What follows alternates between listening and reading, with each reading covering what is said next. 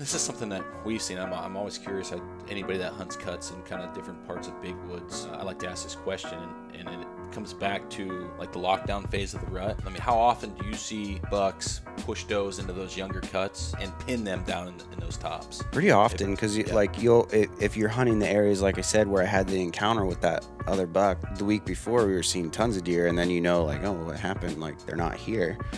Like that's where they're at. The bottom of the drainage was just all these tangled rhododendrons. I think they were probably tucked into that stuff because if you go down there, there's all that like late rut sign where it's all bedding and just full of deer crap, and like you can't get into that stuff. Like I actually tried to cross a creek and got tangled in it a few times. You know. Lights, camera. Follow the trail. Ready to shoot. If you know where a deer's bedding and you know where he's eating, that deer should be dead. If you're passive on a deer, what you're doing is you're teaching them. I've got 30 bucks in the Michigan record book. Everyone but one has had at least one previous wound on his body. Some had as many as four. Trail Cam Radio. From the guys at Exodus. We are live. It's day two, episode three of the Great American Outdoor Show podcast series, Trail Cam Radio. We have Aaron Hepler, and Aaron, you just published your first article with us. I did. this I'm past super, week. super pumped to to get involved. Yeah, you're a Black Hat member, elite company. Yeah, tell people a bit who you are and what you do for a living. I'm from the great state of PA. Don't live too far from here. I've uh, been a nurse for about 12 years, and I just uh, I got involved with Exodus through uh, through Clint Campbell, just writing for an outlet. But it's been tons of fun. It's been a cool cool road. And so, what do you do for a living? I'm a I'm a nurse in the intensive care. Mm-hmm. Yeah, makes for good hunting. Because you were saying you work three twelves and then you have Yeah. four days off a week. Yep. Make my own schedule. How how much in advance can you make your schedule? So we make our schedule six weeks in advance. Oh wow. That's a lot of flexibility. Yeah, I mean for out of for like short out of state trips, or if, if you wanted to do something like that, I mean you could you could bang some stuff out. The bad part is Fronts. not knowing the weather. Yeah. six Yeah. weeks out. I mean, Yeah. Four days, Get though. yourself in a pickle. Yeah. Yeah, I mean, I Yeah, well, the other thing that I do for like during the hunting season is I'll just um, when I make that schedule, I can put in like single ETO days, like vacation days or whatever. So I just pick a couple rant, like I'll pick an extra day. Like in the beginning of October, I'll take one day a week, and then as it get like gets closer to the rut, I'll take two, maybe three. This year between October and November, I worked like 15 days. so you only worked 15 days in two months. Mm-hmm. That's that's nice. So people, if they want to hunt more, should just become a Yeah. intensive care nurse. I'm uh, I'm recruiting right now. I'm sure. Yeah, honestly. we need you. Yeah, that's really cool. That's a that's a huge benefit. Yeah, it is. To, to be able to do that. So Yeah, it's a cool job too. It's a little, it's it's rewarding some days. You know, some days it sucks, but yeah, I couldn't imagine. So how long have you been hunting? Tell us a little bit about how you got into it, developed a passion. My whole so my whole family's been hunters my entire life. I uh, in PA you can start hunting when you're 12, or actually when when I started you could start hunting when you're 12. So that's what I did. My dad always was take me, you know, squirrel hunting or turkey hunting. I had a lot of friends that hunted and. Uh, Grew up hunting on a farm with some family friends, and just my passion grew from there. One of my buddies um, that lives on the farm still, you know, he still he actually runs the farm with his dad, and uh, he's huge into it. So we just grew up bow hunting together. We used to try to make little films together when we were like, you know, 14 years old. We would drive the tractor because he couldn't drive a truck yet. So we would drive the tractor over to the the sections of the farm, you know, and yeah, just loved it from there. As far as public the public land thing, I've been doing that for about seven years. Not exclusively, like I'll still hunt the farm. Mostly the areas that I'm hunting are I'm hunting for does, and then during the rifle season, I'll I'll hunt almost strictly the farm because I get all my doe tags for there, and I don't want to get shot. So What what provoked you to want to try public lands seven years ago? I don't remember when it was. I think I was in nursing school and I read like a Dan Infalt article, and I was like, "Oh, that's really cool!" Like, because I've never, I never had really had the opportunity to to encounter or see a really big buck on the farm. Like we we knew they were there, and occasionally I would see one, but never had like a real like, "Oh, there's a slammer." Um, I read his article, and you know. You would occasionally hear people shoot a big buck around here on public land, but the way people talked about public land around here, it would be like, oh, you know, Negative see- connotation. Yeah, every, if it's brown, it's down. Nobody ever sees any deer. I remembered walking through different areas when I was pheasant hunting and being like, I don't know, like there's a lot of like big rubs here. There's like it just like everything made sense, and you'd like read stuff that Dan would put out. I mean, you read articles, and everybody's you know most of those North American whitetail or whatever it is, it's just like outfitted things or you know farm based food plot that kind of thing but i'd get on these public pieces and i'd see all these this sign and be like, well, whatever he's writing about makes sense, and whatever they're saying might be a little old school, especially because when I was like 13, we put the we put the antler report the APRs? yeah the APRs in place here. Junior hunters can still shoot like a spike buck or whatever, which I think is great. You know, if it keeps a kid involved because they shoot Yeah. a spike, have at it. Like I don't care. But um, I think that really helped, and I that was one thing that really drove me to really want to try public land. But I couldn't find anybody that wanted to do it, so I would like you know mosey on to some stuff myself. But I eventually found a buddy that I worked with who's like, "Hey, I read this thing. We got to try this." So um, we ended up hunting, uh, you know, scouting and hunting public land a lot together. I actually told you the story. Well, we probably did it for about two or three years before we, you know, really started to learn what would work for our area. I'm sure we'll get into this, but I found some clear cuts on a. Uh, I was like, we gotta, we gotta take a hike out to this spot and take a look at it. So we went out shed hunting and hiked out to this clear cut. And this was, I think, my third year hunting public land. We got there and it was just like, oh, this is awesome. And it was like, oh, what's over the next part? What's over the next part? And we just picked this whole clear cut apart and had a really good day in October. Nice weather front. It was uh, like October 22nd.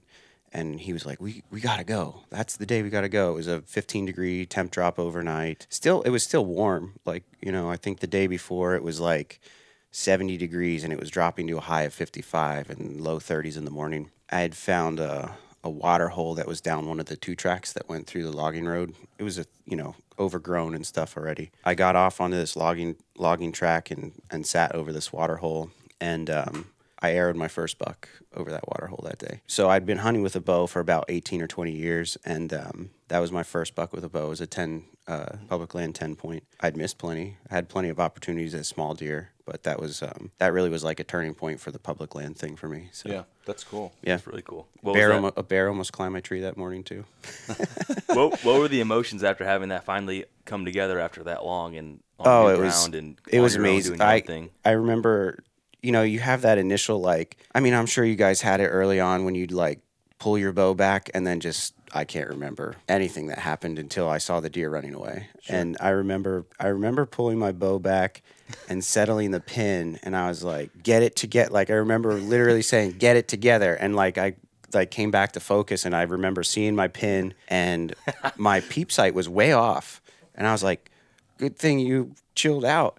And I like put my peep back on the on the pin and I remember watching my arrow go and I remember the hole opening in his side and I remember the deer like just kind of looking around and and taking off and I was like I just double lunged him. Like I I knew it was a good shot you know it was 12 yards. I couldn't see further than I think my my furthest shot in that in that spot was 15 yards. It was so thick. And I'd watched the deer for 45 minutes. Whoa, that's a super long count. yeah, he ended up I ended up actually like I could hear deer chasing in this cut the whole day, and he was you know they were grunting and whatever, and he I ended up just hitting the grunt tube, and he came like charging down this little slope, and I could see the trees swaying because he was rubbing rubbing as he came in, and he stopped behind. I could see his antlers, and he's twisting his antlers to get through the little saplings, and I'm like I remember thinking, holy crap, like that's the biggest buck I've ever had in front of me while I'm hunting and he stops behind this laurel bush and he's just he, knew something wasn't right. Like i don't know maybe he got his butt kicked. I don't know. Because he wasn't like overly like he didn't look spooky. He just looked like he was being cautious. And i remember him stopping behind this laurel bush and he was just like chewing his cud and looking around. And then he'd like scratch his back with his antlers. And then you know and the whole time like every time he moved my heart would race a little bit faster and then it'd like slow back down and then it'd race a little bit faster. And i remember finally he just kind of started like he took a step and i'd get ready to draw my bow and nope not yet. And then he'd take another step and i'd get ready to draw and finally he just he was getting ready to take a couple steps. I drew and he came behind a tree at the at 12 yards and and that was when i you know had the had the moment of get it together. You like you need to make Yeah, yeah. like because like i said every other time i've shot at a buck i've had like a blackout moment and like either shot over him or shot under him or whatever it was. Um but i remember i'm just like hell yeah like i got it. Like, and then i was like well, oh, just now calm down. Like he might be you know laying down right over there. You need to calm down. So then uh I called my wife and I was like, I just shot a 10 pointer, you know, like, and she's like, no way, you know. And I, I called my buddy on the farm then and I, I was like, dude, I just killed a 10 pointer. And he's like, just chill out, man. Like, you know how to, like, you, all right, just relax. you know, and he's he's uh like I said, he's been I've known the kid since we were in fifth grade, and you know, have hunted together, and he he he does a really good job at um, uh, hunting on his farm, and you know, has had some really good success there. So he know he uh, he's like one of the people that you know you're like you got to call him up and be like, hey. What do I got to do here? Because I can't think straight. You know, expert. here's the here's the situation and you need to tell me what to do because i'm going to do something stupid you know and he's like just wait for like an hour and a half because it's cold enough it was still in the 30s and he's like just wait for a while and i called my buddy that i was hunting with and i was like all right I, I, there's a 10 pointer he's like well i'm going to sit till 10 because we actually ended up almost doubling that day on it he almost shot a eight pointer that was the same size that ended up winding him like the thermals picked up and ended up swirling where he was sitting on the end of this ridge and uh, this he was he was just about to draw his bow and, and make a shot on that deer. So it was it was a it was a cool moment for both of us because we're like finally something clicked. You know, we did this public land thing and and uh, and we're able to you know really find a spot that worked worked well for us. So from the day you read that uh, Dan Infalt ar- article to the day you arrowed that deer, how, how what was the distance again, like year wise? That was probably about four years. So That's I read usually what he says, how long yeah, it takes to- Yeah, I started the we started really scouting public land and hunting it for about three years from the time I I killed that deer. Um, but yeah, it was just it was kind of like a surreal morning, you know, like as soon as the gray light hit, I remember being in that tree and something was running circles around my tree stand and I couldn't tell if it was like a coyote or what it was or a little doe. But then I remember, you know, hearing stuff coming through the bushes and getting ready to draw my bow because I'm like, oh, there's a big buck. And this bear came came out of the bushes and was drinking like my tree, the base of the tree I was sitting at, the roots were touching the water hole. And this water hole is like, I don't know, a five by five water hole. And the bear came to the water hole and he was drinking out of it he went around the he went around the backside of this water hole and stopped at the base of my tree and put his paw on it and looked up and I was like, "Don't you do it!" and he was like, like he did, you know, you could tell he was like, "Oh shoot!" Yeah. He didn't smell me at all. I don't know how my wind was like landing on him, and uh, he stopped at the base of that tree and his head snapped up and he barked at me and ran away and I was like, whoo. that That's a would not have a- been wow. fun. That's a yeah, that's a heck of a day. and I can't like I can never. Everybody's like, "Did that really happen?" I'm like, "Yeah, it happened," but I couldn't take. I was had. I was like, I'm not gonna film a bear that's about to climb my Yeah, tree Yeah. because it happened. Like when he was drinking out of the water hole, I wasn't even thinking about it. I was like, "Oh, cool, a bear," you know, like. And I, I'm like, "Oh, I should get my phone out," but by then he was like already circling the tree and had put his hand on his. And I'm like, "Nope, not doing that." What year was that? Uh, 2018. 2018. Yep. And so, I guess anything else on on that progression? I mean, after since 2018, what have you learned from that uh, first initial success in that type of setting to four years later? Yeah, um, really, I mean, the the biggest thing is the postseason scouting element of it, and that was that was what helped me kill that deer. Like, I I'd really grown up, never really. You don't. We didn't really need to scout the farm. Like we'd get there in the fall and see where their rubs were being made, and be like, okay, this is, you know, it's probably because this year this is corn, and they like the inside edge of it, and all the rubs are opening up. You know, rubs and scrapes are opening up here, but I never really like took the posting season scouting thing to heart, really because of that. Like we didn't really have to. Sure. And um, you know, with with public land, you can really kind of pick apart what happened in maybe the beginning, like the pre-rut time frame versus the rut time frame. Um, so going in postseason and picking out um, elements of your scouting that are going to help you through the entire season then so you're picking something out that's going to work for the early part of october the middle and then finding those rut the, the travel corridors really and um, so the year after i killed that buck um, i'm trying to i'm trying to think of what kind of year i think i had some some encounters with some good ones that year um, i did i had some encounters with some great deer um, i ended up I kind of always base something off clear cuts. And the clear cuts I found in the area the following year were really eh, too pressured. Like there's a lot of like tree stands and Was because it was too fresh of a cut? No, they were they're like it's it's a series of. I'm not going to say how many cuts because somebody will know exactly where it's at, but it's a lot of them, right? And uh, Like a smaller. they're smaller, like right? Checkerboard. Yeah. Uh, well, I mean, some of them are big. Like some of them might be 50 acres. Some Oh, of them might be 10 acres. Okay. So, but there's a whole. It's it's a it's a lot of them, right? And it, they they both both sides of a service road, right? They're right on the service road. Okay. So easy to get to.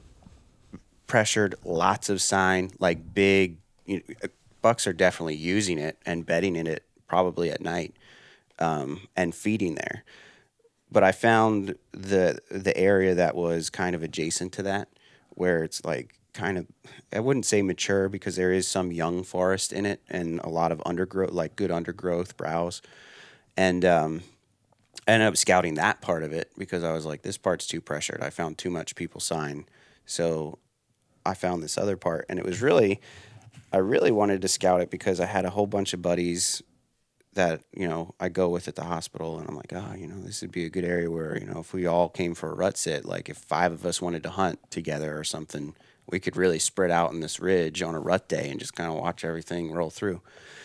And um, I found a really nice shed there, and uh, you know a couple small ones or whatever. And I so I'm like, okay, so this is the side Bucks really Bucks really like this side, and um, that part of the property was actually adjacent to a lot of private, like a couple thousand acres of private.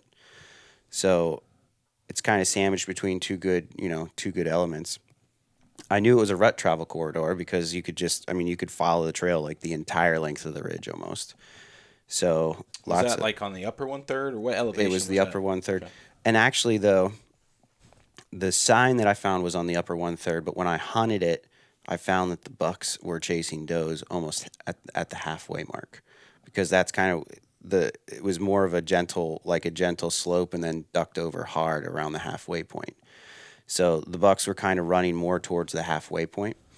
Um, so again, the buddy that I, I killed that 10 pointer with, we went up and we're checking this spot out.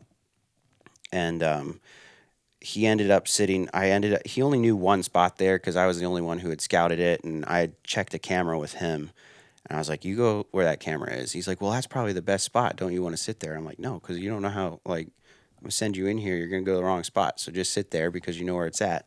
He ended up seeing 10 bucks that day on that ridge point, And I think four of them were probably about 120 inches. Um, and just couldn't make couldn't make a shot happen. He was sitting close to the to the property line, and they kept going, you know, 20 or 30 yards over the property line. Um, but it was it was like one of those. I mean, I think it was uh, it was rut. It was like November 4th, I think was the was the date for that, and it was just one of those days where you just it, he was ju- every every time he texted me buck buck buck, you know, I'm like, man, and I'm thinking, man, I must have picked the bad spot, you know, and uh, finally, and finally by like 7:30, I started started like hearing grunting and chasing, and I had a small buck chase a doe by, and then a deer that was probably 115, 120 inch came running by, and I grunted him, and he, I was too far up because I was in that upper one third, and I looked at the deer and I'm like, come on, dude. And he's just kind of like checking out, like, where's the buck? Where's the buck? And the doe that he was with took off and he just zipped after her. And I'm like, well, you know, when I come back in here, I know like I'm just to drop down. I was actually hunting a ditch system and all this, like all the seepage, you know, so I was just kind of like, oh, just follow the water. So um, that's kind of why I used that area because they were crossing this particular part of this ditch. So I ended up dropping down. We went back on like I think the 14th of November, and I ended up dropping down, uh, dropping down the ridge, and um, and same thing. I had a button buck like chasing a doe around my stand by 7:30 in the morning, and then that was it. And he's not really seeing anything. So I'm like, oh, maybe you know we're already into like they're locking stuff down. I don't know. But whatever that button buck was chasing was hot enough that at I think I think at 9:30 or something, I hear a little twig break, and I had the darndest time climbing the tree that I climbed because it was full of all those like little sucker saplings, mm-hmm. And um, I was like, well, I don't know exactly. There was two trails there, and I'm like, I don't know exactly which one. So I wanted a tree with a lot of cover, so I picked that one. But it took me forever to climb it because I'm telling you, like every every time I hung a stick, I was putting it around like, you know, five or six sections of these sucker saplings, and um, when I got high enough, I was only I was only probably like 16 feet high, and um, I couldn't get any higher because then there were big branches above that. So I'm like, well, I'm just gonna face downhill because you know that's kind of the best way that these trails won't see me. And um, I actually expected the deer to come from the opposite direction of the ridge, but today they were coming from the direction they weren't, you know, the, the opposite direction from where they were coming the week before. And I hear a twig break, and I kind of look behind me, and all I can see is this big rack. And I'm like, oh, shoot. And he's already at 15 yards. I'm like, oh man! And this was this was probably 140 inch, uh, 140 inch nine point. Oh wow, big deer. Yeah, and um, I'm thinking, how am I going to get turned around without like? Because I was not. It wasn't like I was completely opposite. Like I- I was the wrong direction. Like my sil. If I moved, he was going to see my silhouette. And he started going up the ditch, and I remember thinking, all right, he's turned around. Like get up. I got up, and my tree stand squeaked, and I'm like, oh. And he turned around and snapped his head, and he's looking, and my wind was blowing to him, but my thermals were pulling down this ditch, which was why I really wanted to stay on the ditch because the water was so cold and it was pulling everything down with it. So every time I threw milkweed out, if I would throw it out here, it would kind of like drift up the hill a little bit, but suck right back down into the ditch. So he kept looking at me and like, you know, he'd put his nose in the air, but he couldn't smell anything. So he would go back on his way.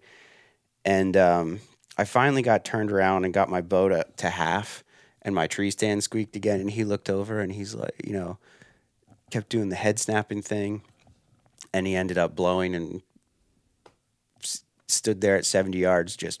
I'm thinking, you Moralizing. but um, it was cool because it kind of just compounded on the things that we learned the year before, and um, that was actually my a second encounter with a big buck that year.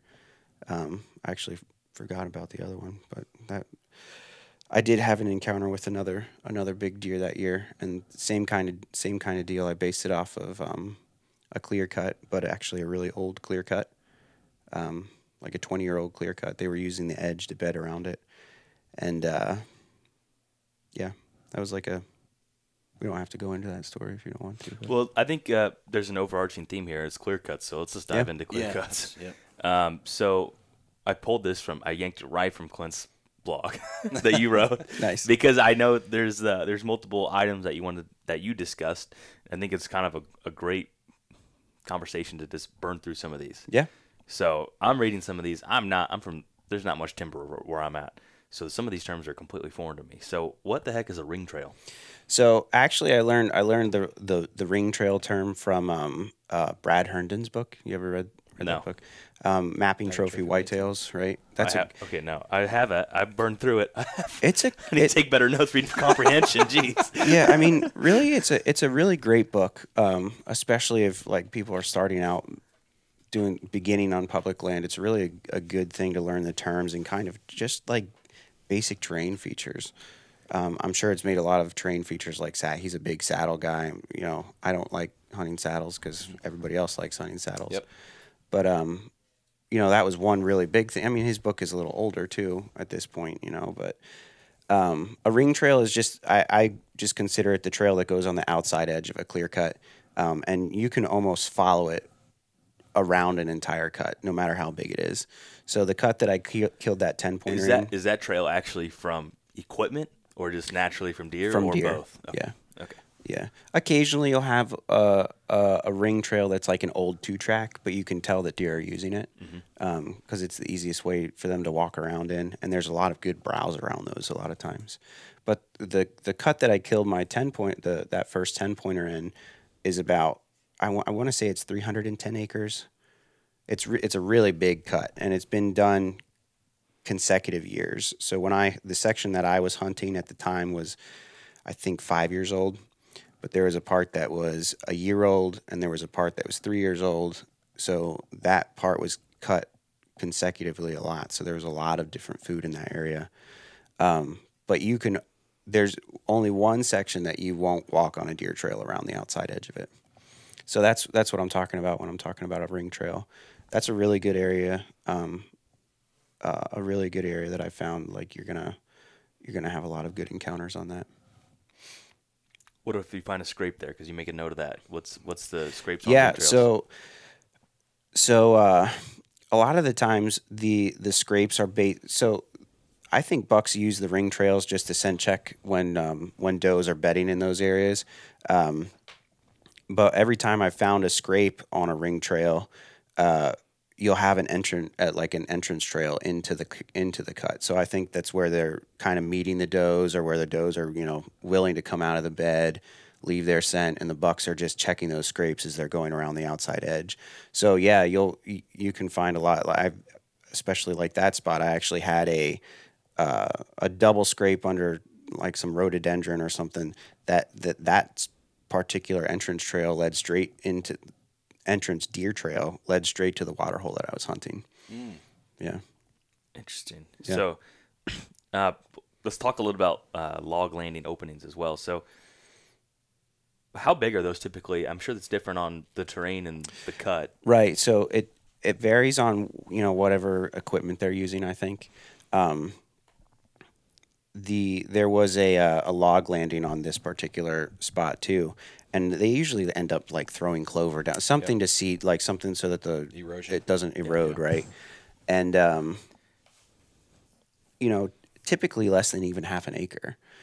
Um, but depending on what they put in there, you can see that those areas are are dug up pretty good. I found sheds in them a few times. Um, it's a good starting point for scouting um, because out of that whole clear cut, that's a really nice congregating area for deer. Um, does love them. Say, do they bed just right on the edge of those Yeah. typically? So I I like to I like to start scouting around them. I don't I couldn't say I've ever hunted one, mostly because like they they're like food plots. So you know usually somebody will end up hanging a tree stand in November on those or something like that. Um, but you know the, the pressure in the areas that I hunt is almost nothing during the week, um, in in until the probably the end of October, early November. So they aren't they aren't bad places to check out. Yeah, especially for sheds to maybe check out and, like you said, it's a starting point. Yeah. I mean, then you can work backwards. So, um, you have here a skitter maze. So, what are what I like that. That's funny. what? Uh, tell us a little bit about that. So um, this is a. Uh, I think that's my own term, to be completely honest. Trademark it right yeah, now. I'm gonna trademark it. Skitter maze. So if you ever look at a, a new cut on on hunt mapping, you'll see like usually they stem out from that that food plot and it'll go you'll have a, a like a two track logging road that'll go in straight and then off of that you'll have like all these fingers mm-hmm. where they you know had were logging in this section and took a truck down and you know anywhere from 5 to 20 of these things will be branching. It'll look like a tree almost on the on on onX just branched out. And you can follow those are the easy ways through the cut. So it's good access into the cut. Uh, you know i mean if you're in, walking in through a five year old cut it's half the time you can't walk through it. Right. so that's the way to get into the middle of it if you want to do it. You got to really if, if you're doing it in the dark you really got to take your time. Um, but as they get overgrown it's you know it makes it a little bit easier because you, you get some screening cover unless they're bedding right on the edge of it which they usually don't. They're always you know in a little off of that but they travel on them so you have to watch that too. But um it's the perfect way to get inside a cut and a lot of times the entrance to those skitter mazes is blocked off so a lot of people don't see them because it's already you know it's grown shut with what's ever there you know? So those are those are ways that i like to access into a middle of a cut if they're you know not unpenetrable themselves What kind of uh, herbaceous growth or regeneration are you getting in these cuts? Is it a lot? Uh, is it like a lot of uh, hardwood, like oak, maple regrowth, or is it more uh, greenbrier, blackberry, you know, mountain laurel type stuff? So it depends on this on the stage of the cut, but um, the ones that I really prefer do they do have a lot of oak regeneration. If you can find those stumps that have all those sucker, those yeah, oaks, those those sprouts, years, they'll eat those for years. Um, and the greenbrier they love. So I really like one that's mixed, but the ones that tend to be maple that I've hunted don't tend to work out as well. Um, Mid October they're okay because as those leaves start to turn red a little maples, bit, yeah. they love them. Um, so you'll find deer are like magnets to that area for that short like week or two as the leaves are starting to get yellow, you know, a little yellow and red. But most of the most of the best growth is um is uh is oak and greenbrier, and it I prefer if it's mixed, right? Um, and most of the time they are like they'll grow, you know. It, as the oaks get too big, then you start to have the green greenbrier die off. But when they're in that like you know anywhere between three and seven year old around here, that they, they tend to be mixed. Yeah. Um, and obviously there's just there's mountain laurel everywhere, so you'll have a little bit of that. But that's just for the scenery, you know. So have you had more luck on ring trails or skidder mazes? Uh, skidder mazes. Yeah. So more, okay, so I'm just trying to pri- Yeah. I'm trying to mentally prioritize of where is the best place to if you if you want to see a lot of deer, like if you're burnout, a ring trail is a really good place to sit because you're gonna just have things filter by you all day, Mm-hmm. and you know you'll you'll see a lot of does and small bucks and um I yeah, I think the time where a ring trail really starts to get good for a bigger buck doesn't really happen until the end of October. sure Um, not that I mean, obviously there's outliers, but I think that that would be the best time to, have prioritize yeah. time there. At what stage in those cuts do you see deer activity start to die off? Like a- age wise. Age wise. Yeah. Like how old of a cut do you say, okay, it's starting to lose its value? Because this is something that we have a number where, like some of the cuts that we hunt, but we've been up in the Allegheny National Forest, and I'm talking probably an eight hour mm-hmm. drive, like north to south. I don't know what, how many miles that is. Yeah. And I think part of it comes back to soil too, but the levels of g- regeneration seem to be so much slower with that, you know, um, distance from north to south. So I'm Right. curious, like what what you see on that. Well, you, and you and I were talking about things being behind yesterday. Yeah. And then I th- I thought about that last night actually. Like, um, you know, I've hunted Like uh, growth being behind? Yeah. Okay. So I've hunted li- I've hunted southern Ohio. So where I'm hunting from, as far as north to south goes, it's 150 miles, like vertical. Okay, so right. relatively close. So right, so here compared to like that northwest region of PA, it, it's even faster, right? Mm-hmm. Because we don't have, you know, up there, you like you, your ice thaw and your things like that are, are even a lot slower than they are here. We don't get nearly as much snow as the northern half of PA. Right. So not not too far away. Um, but as far as like quality of, of browse, I I'm gonna scout every clear cut. I've I've hunted like I said I hunted clear cuts that were 20 years old and they weren't using it for food, but they were using it because people weren't going in there. Yep. Um, But uh, as far as if I'm gonna pick one that I think that they're in all the time using for bedding, browse, and food, um, I'm I'm not like somewhere between three and seven is my Yep. my favorite time. Okay. Um, But again, like I've used those old clear cuts that are just like eight foot silver poles. You know, I've used those, and they really like them sometimes. You know, when they're getting pressure. Actually, that the day that my buddy saw ten bucks, when I came back out to get him, um, there was a doe and a buck bedded on the edge of the logging road I was walking out, and uh, they jumped up and they ran into one of those old cuts. And I drew my bow because he was like, I don't know, he was like a hundred an inch, eight, eight. I was, I was going to shoot him. Yeah. And uh, he got into these poles, and I couldn't make a shot. And he's just, sta- he's, he's like 35 yards, and just like every time he moved, I could, like, he would just kind of like shift a little bit, and I couldn't get a shot at him because it's like a maze for your, you can't like, Yeah. you can't really see through it. sh- no straight. Yeah, straight you line. can see the deer like he's clear as day, but you have no like, how am I going to get my arrow through there? And I think, I mean, they're smart enough to know that. Like he just stood there and he kind of just walked away, and I'm like, all right, well, that sucks. but um, yeah, they'll they'll still use them. What about um? This is something that we've seen. I'm, I'm always curious. I, anybody that hunts cuts in kind of different parts of big woods, uh, I like to ask this question, and, and it comes back to like the lockdown phase of the rut. I mean, how often do you see bucks push does into those younger cuts, like and pin them down in, in those tops. Pretty often, because yeah. like you'll if you're hunting the areas like I said where I had the encounter with that other buck the week before, we were seeing tons of deer, and then you know like oh what happened? Like they're not here. Like that's where they're at. Yeah. Um, this particular area, they would push them in the the bottom of the drainage was just all these tangled rhododendrons. I think they were probably tucked into that stuff because if you go down there, there's all that like late rut sign where it's all bedding and just full of deer crap and like you can't get in you can't get into that stuff. Like i actually tried to cross a creek and got tangled in it a few times you know? But um it doesn't take much. Like that's like a 50 yard wide section and they're just i think they're just piled in there based on what you find when you walk when you try to get into the edges of it and stuff like that. Sure.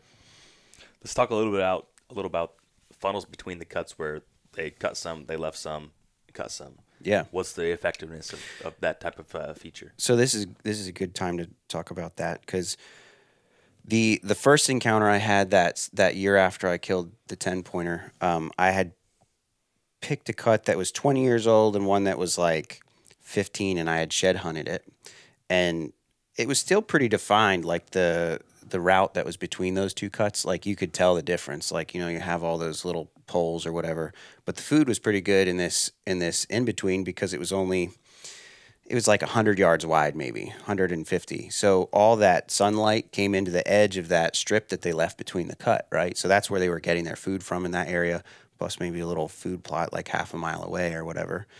And um, i picked that area because i was like well they're running through here. It's a nice like early to mid season because there's a lot of white oaks in there and the the browse was pretty good so i'd picked this area again, my buddy sitting at the end of the ridge, and nothing was happening. Like it was a really windy day, and um, he had seen, you know, a little bit of stuff, and I hadn't seen anything. And I got bored, and I snort wheezed. and ten minutes later, it's like eleven o'clock in the morning, and we're about to leave because we're not, you know, nothing's happening. And um, ten minutes later, this buck comes bla- like running up this trail that he had like I'd seen scrapes on, like new scrapes. Came running up this trail, and I picked my bow up because I'm like, oh, he's 120 inch eight point. Like, let's go. Pick my bow up, and I come to full draw, and he stops behind these saplings, and as soon as he stops, he hit my wind like dead on, and just like gone. And I'm thinking, what? You know, but that was why I was hunting that was because I was hunting one of those funnels between the cuts. Mm-hmm. And he actually was using the edge, like the brushy edge of that new regrowth to run up the edge of this 20 year old cut. I, I think they were bedding in there to, you know, to stay away and be, you know, kind of be out of the wind. Those poles break the wind still. Sure. Um, And I, I did walk back through that cut and you're seeing a lot of sign, like a lot, they're rubbing everything in there and the trails are good through there. Is Obviously, that picture? no, that's one of the, that's one of the new, that's a New location? Cut, yeah. Okay. Gotcha. Okay. So this is kind of interesting, something I've never even considered. So you mentioned islands in timber cuts. So those are areas where they, they just don't cut. And what's the reason why they wouldn't cut it? So they leave those trees for seed trees. So you have a couple different select cuts where they'll clear cut everything and only leave red oaks, right? So then that kind of ends up being like dotted. Um, but there's there's some cuts where they well the where they leave like a a quarter acre section of and mostly most of the time they leave it because it's just a big cluster of oaks but they'll leave those trees to seed. And I don't know what their what their idea is. Like if that happens to to to blow seeds out better or whatever, you know, if it's but some of the cuts that we hunt will have like four of these islands, and they'll be you How know, big would an island be, for example? so like probably about a half an acre, maybe a little bit less. Um, some of them are if you sat in the middle of them, you could shoot the whole thing Okay.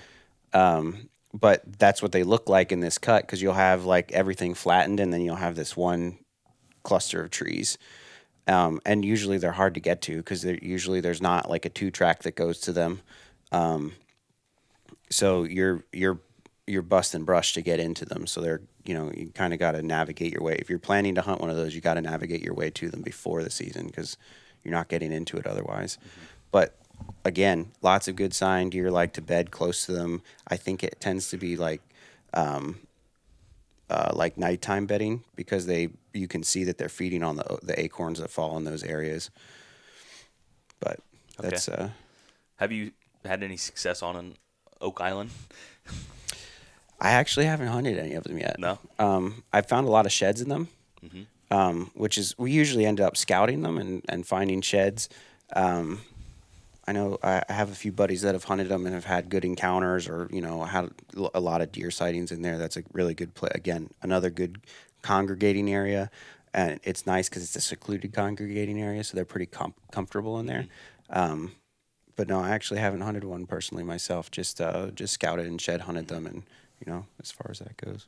Here's here's an interesting point. You so you talked about water sources and springs, but um, tell us a little bit about something if there isn't any of those, and it's related to logging trails. Right. So one of the one of the good things in a in a fresh logging cut is you have a lot of heavy power equipment that's going through there, and they leave a lot of tire treads. Right. Those, especially if if the soil is good and you have some clay mixed in there, those tire treads retain a lot of water, and it almost makes like a little uh, kind of a marshy Mini environment at least for a couple of years until the stuff dies and starts to fill that stuff in.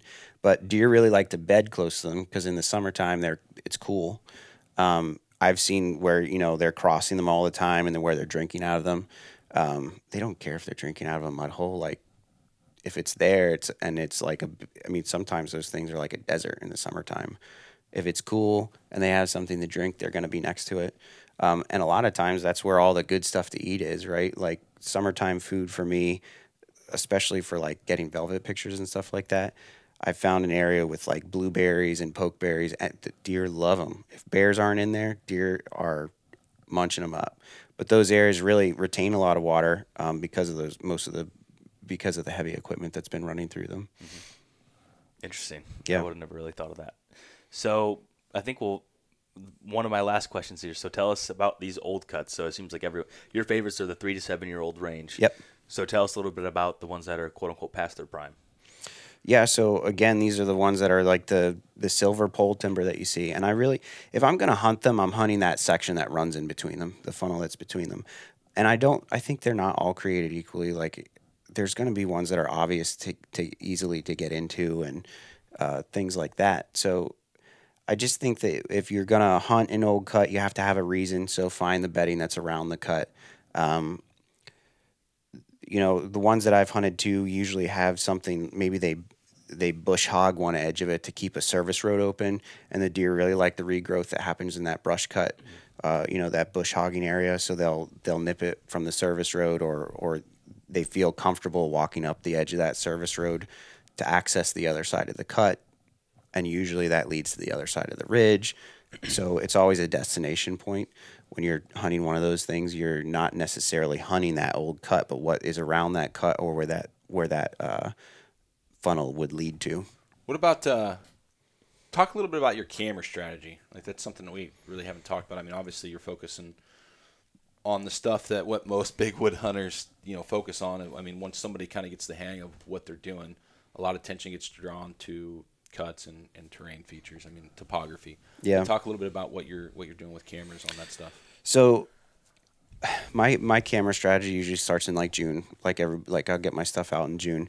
And again, I'm I'm I'm starting inside the cut. So, but I don't like to move my cameras too much because they still use that cut in the fall for something. So, uh, when I hang the cameras, I hang them in spots that I'm going to hunt early, mid, and late, like into the rut, and I don't move them. Like I'll I'll keep them there. So, um, friend of mine this year and I hung cameras in in June, and we started in this in a in an area that had all these berries. Right, I mean, you could walk back there and get a mile from it and smell the blueberries when they got ripe. Like it was, it's crazy, and had really great velvet pictures in this area. But all this stuff, it, it really mattered where it led to, right? Because we were getting midday pictures in the summer, um, like you know 2 p.m. But then you're as the time goes on, you're seeing where all these deer are going from there. So um, the the area around the cut is the is the area that's going to get the most light. So we're walking through these areas that um, get really thick, where all we're just following deer trails, and as as I get into the timber, I'm looking for something to put put it on, like a scrape.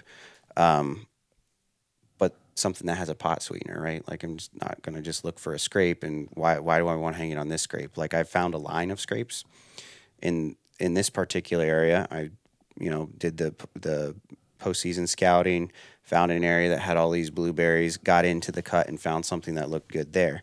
Um, I ended up finding three sheds this day and they were all like uh, 50 inches, close to 50 and 40, 45, 50 inches.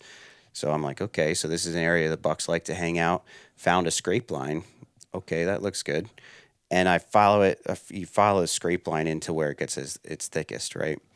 I found a scrape that ended up having this a little spring, and it just has this water hole next to it. Can't see it from onX because it's like, I mean, I wouldn't fit in the hole if I laid in it, but it always had wa- always had water in it. Um, so that was a pot sweetener for that scrape for me because I know they're going to stop to drink water. They're going to stop to make a scrape, and you could see the scrape was like a bowl. It wasn't like a, a little flat thing, and it had has multiple licking branches, which is really important. I think like you can tell they're using it year after year.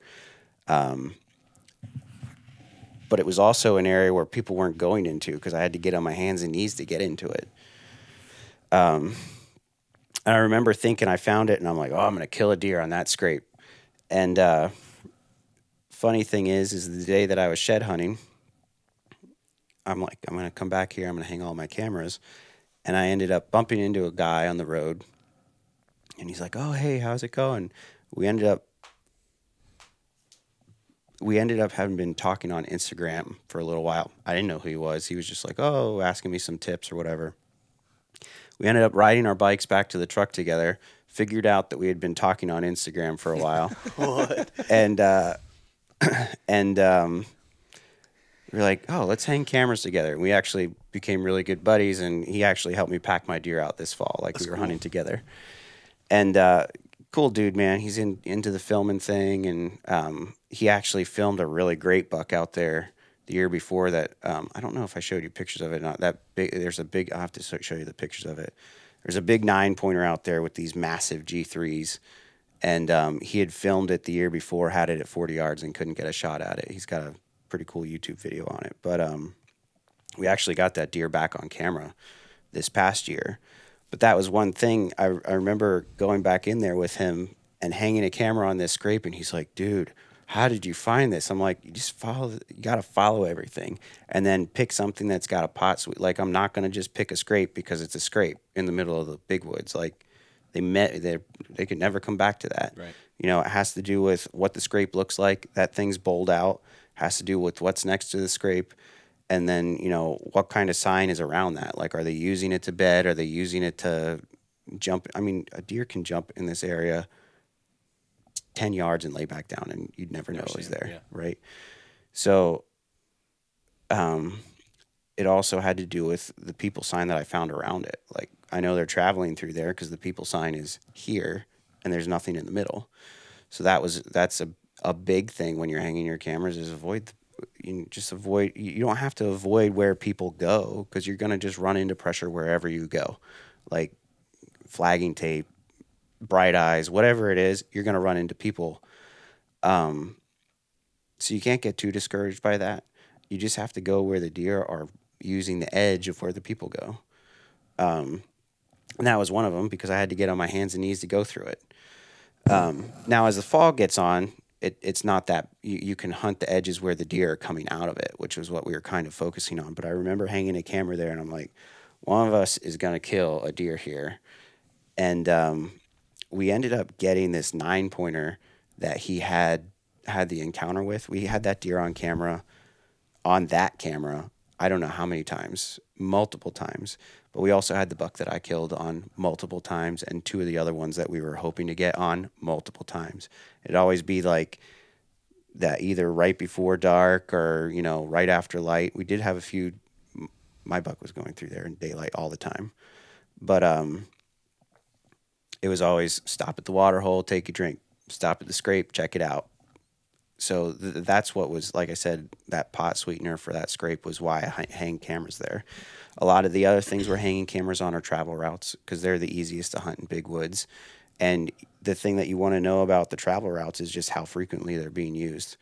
You know, um, if a deer, if you're only seeing a couple does go through there every other day or three times a week, it's probably not that you you want to get that consistent everyday travel on that on that, especially if you're hunting the end of October because that's where if does are going there every day, that's where bucks are going to be checking checking them out. So that that's the important part for the travel route for us is is um, knowing that the deer are going through there every day.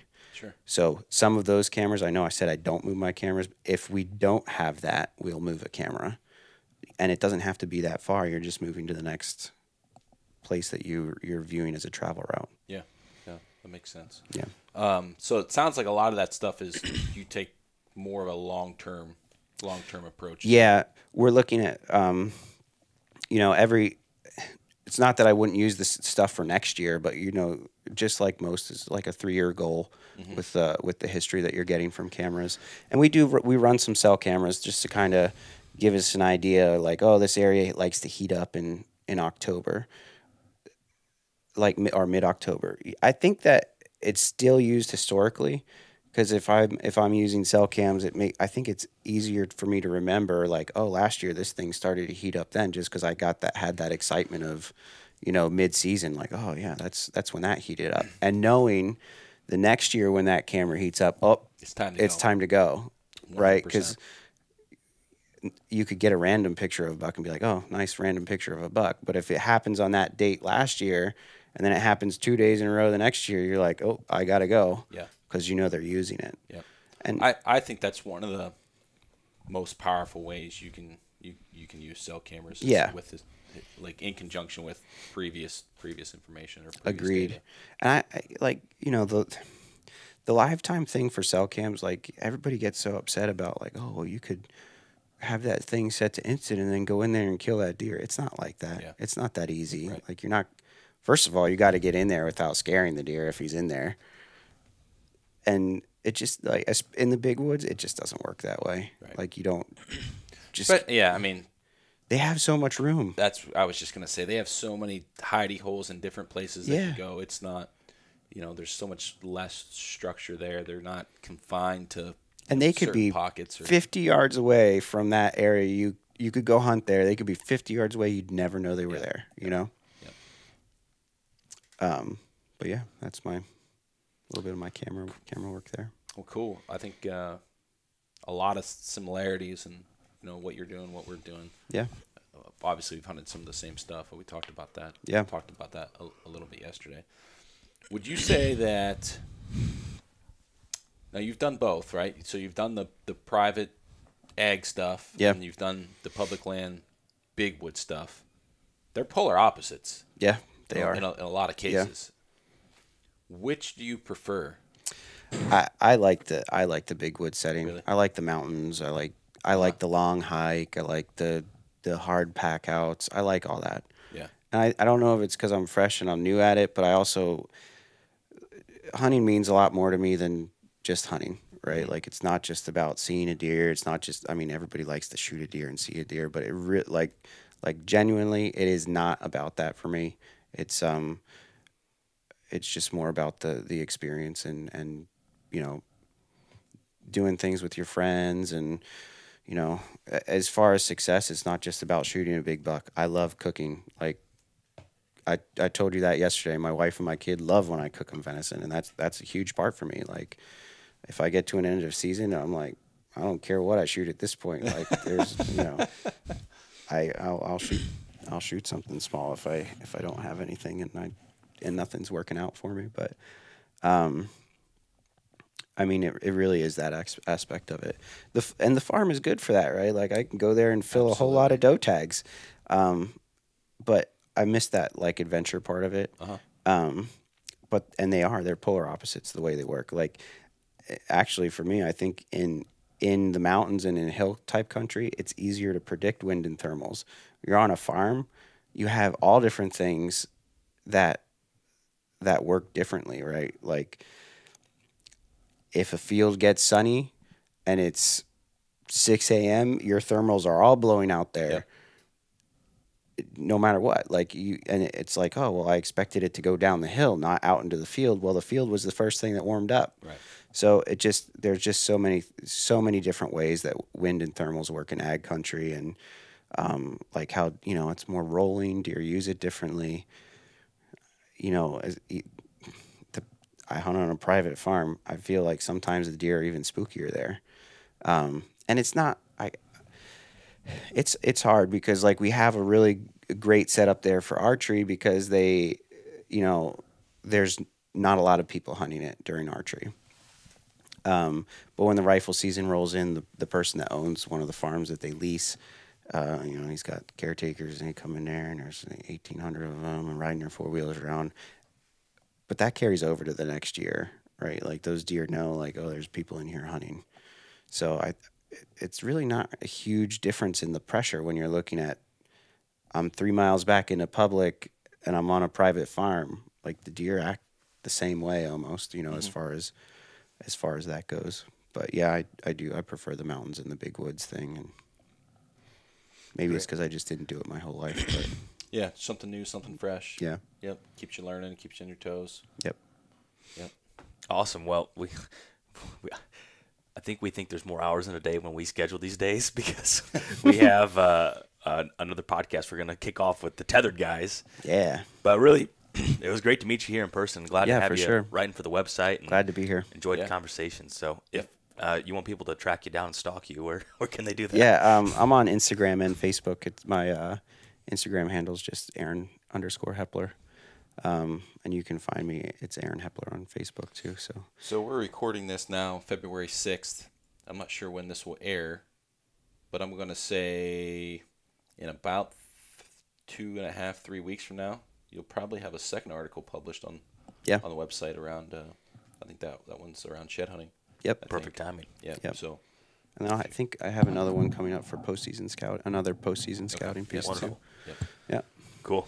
Well, certainly appreciate it. Hope look forward to talking again soon. Yeah. Absolutely.